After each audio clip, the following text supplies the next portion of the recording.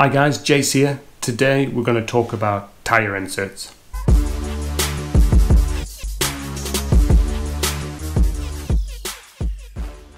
Why do you want to use a tyre insert? Well, it's for one, puncture protection, protect those hoops.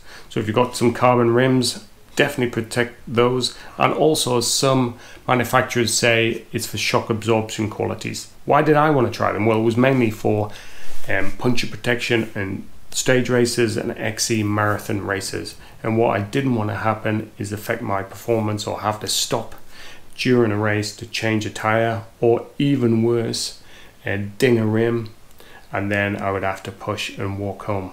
I deliberated over a long while whether I should get um, tire inserts mainly because of the extra weight, especially around your rim where you don't want it, which will affect the rolling resistance. Now, I first of all thought I would get Cushcore, so I bought some Cushcore XCs, which are here. Now these are 150 grams each and are about 70 euros in total. Now I was just about to put them on my bike when I came across some Tubolight inserts.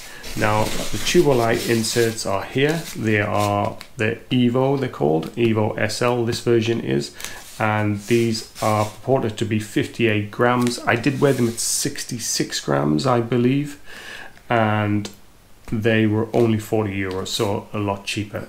Even though I had the other ones, I decided that these would be worth a risk because the weight is half the weight of the Cushcore, and I thought, why not give them a go? So what I did is throw them in my front wheel and on my back wheel.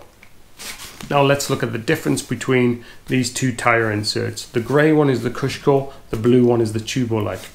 So the grey Cushcore is thinner, more dense. The Tubolight is thicker and it is also less dense and lighter. It's also got an air channel. You may just be able to see that through the center of it and also on the top of it, which the manufacturers say make it lighter and it pushes air from one compartment to the other, which is supposedly there to give them better rolling resistance, but who knows about rolling resistance? It's pretty hard to test. Now I've done about 250 kilometers on them, uh, roughly about 20 hours of riding. So let's have a look at how I rate them. Now I rode the bike over multiple terrains.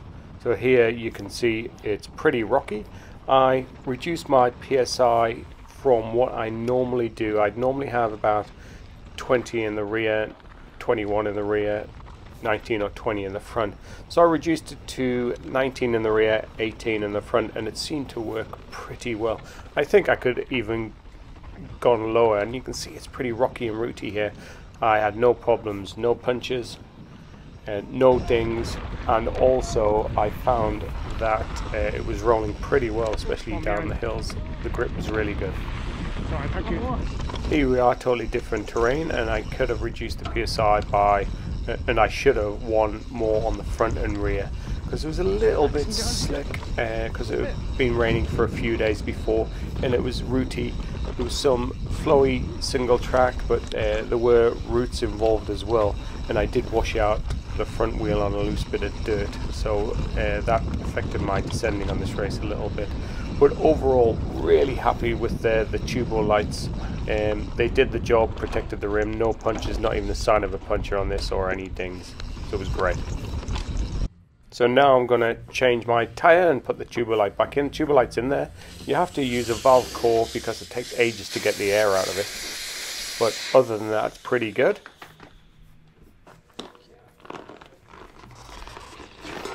Tie levers close to the valve, it makes it easier.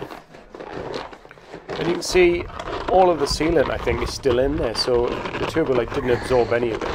It was pretty easy to take out in the end. And I'm just showing you it now because looking at it, it hardly affected it at all. There's hardly any dings in there, a little bit of oh. fraying on one side, but other than that, it was fine.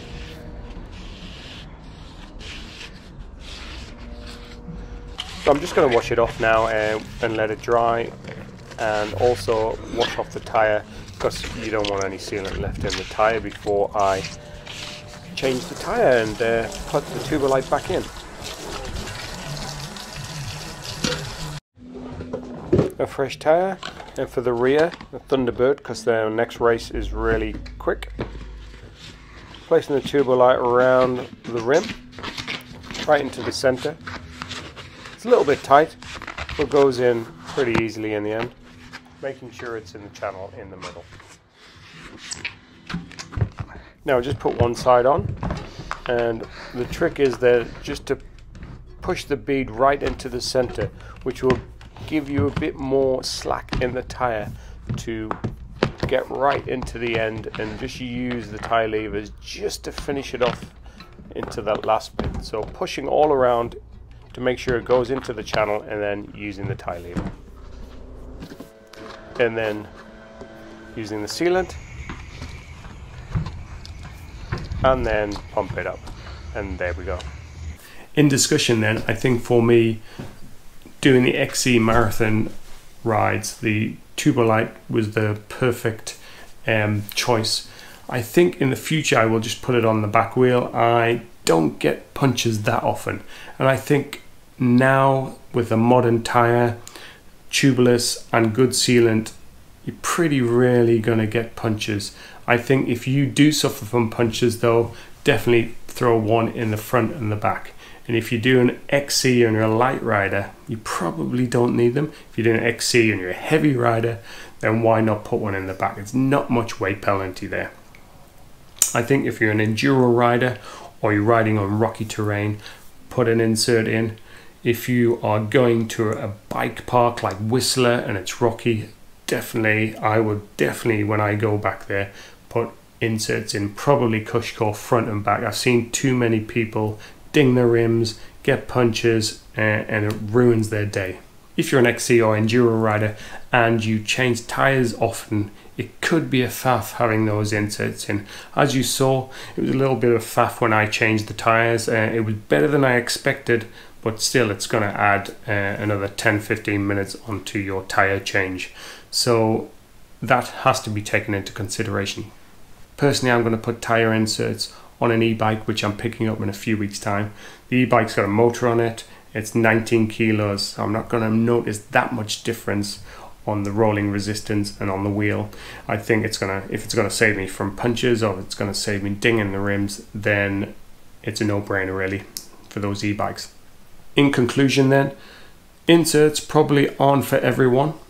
I think if you're a rider that suffers from punches or a rider that is concerned that you are doing XC stage races and you want that extra bit of protection, throw them in there. I think a tire insert could be for you. Thanks for watching. Uh, please subscribe, give me a thumbs up, and I will see you again soon.